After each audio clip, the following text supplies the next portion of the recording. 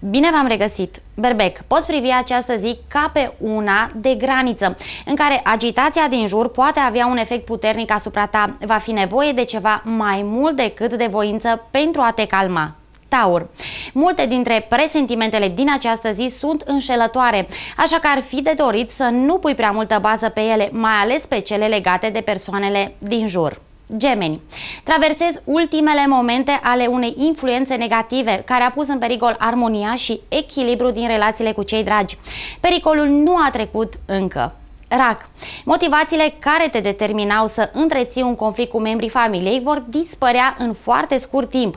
Va conta foarte mult și dorința ta de a le da uitării. Leu.